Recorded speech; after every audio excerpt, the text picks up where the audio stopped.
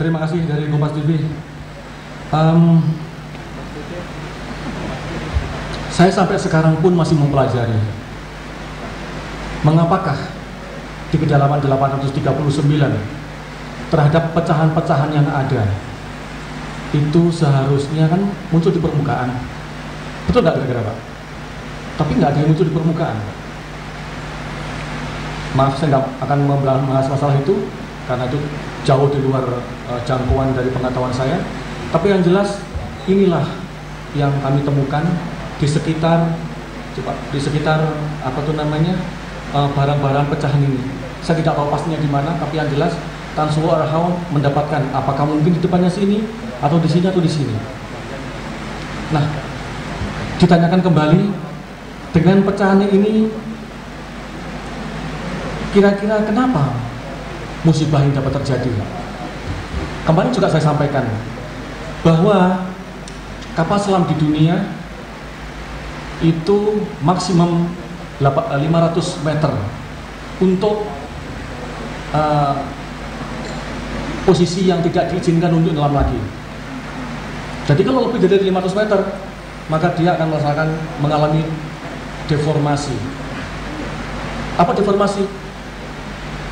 Kalau ini aqua misalnya ini, ya langsung kayak purpo pak, ya kayak purpo, ya langsung pres begini. Terus ingat mengapa kok sampai terjadi pecahan-pecahan seperti begini? Ingat beratnya adalah 1300 ton.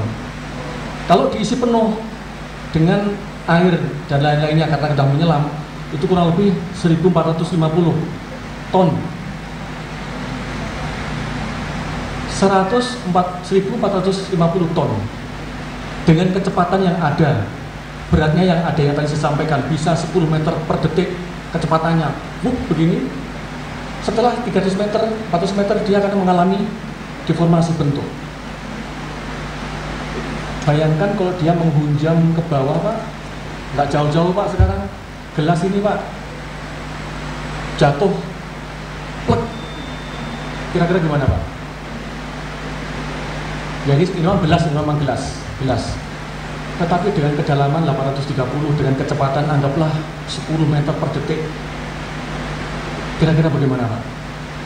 Setelah mengalami deformasi karena melebihi kedalaman yang diizinkan jadi contoh misalnya ini. Ini mampu dimasukkan ke air hanya 10 meter. Tapi kalau sudah 15 meter maka dia akan deformasi. Berarti kalau deformasi dia akan meledak. Ininya bisa lepas.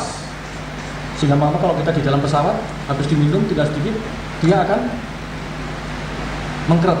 Oh bosan mengkerut mengkerut begitu. Nah ini terjadi pada kapal kita. Sehingga sudah kecepatan tinggi deformasi kena dasar laut maka akan terjadi pecahkan seperti begini. Terus pak ya?